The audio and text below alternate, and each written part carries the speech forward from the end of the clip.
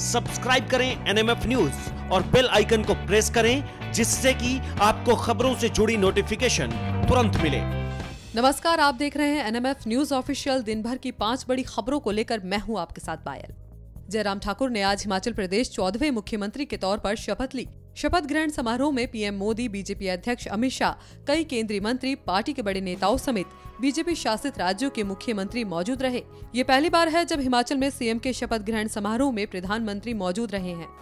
संसद में आज पाकिस्तान में कुलभूषण जाधव की माता और पत्नी के साथ हुए दुर्व्यवहार का मुद्दा उठाया गया। कल विदेश मंत्री सुषमा स्वराज दोनों सदनों में इस मुद्दे पर बयान देगी। कांग्रेस नेता मल्लिकार्जुन खड़गे ने भी लोकसभा में इस मामले की निंदा की।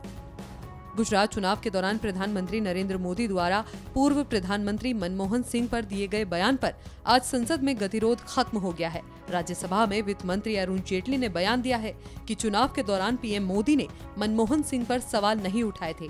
बता दें कि इस मुद्दे पर विपक्ष लगातार पीएम मोदी से माफ़ी की मांग कर रहा था। फिर शर्मसार हुई राजधानी। राष्ट्रीय राजधानी दिल्ली एक बार फिर से शर्मसार हो गई है। दिल्ली में चलती कार में एक लड़की से सामूहिक दुष्कर्म का मामला सामने आया है। घटना के बाद आरोपी लड़की को द्वारका सेक्टर 21 मेट्रो स्टेशन के पास फेंक कर फरार हो गए। पुलिस ने मामला दर्ज कर आरोपियों की तलाश शुरू कर दी है।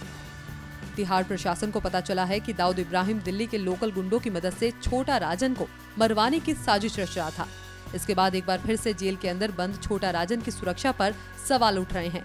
हालाँकि तिहाड़ प्रशासन ने कहा है कि राजन की सुरक्षा में विशेष गार्ड लगे हैं और छोटा राजन की सुरक्षा को लेकर कोई रिस्क नहीं लिया जा रहा है। तो ये थी दिन भर की पाँच बड़ी खबरें। देश और दुनिया की तमाम बड़ी खबरों के लिए एनएमएफ न्यूज़ ऑफिशियल पर बने रहिए।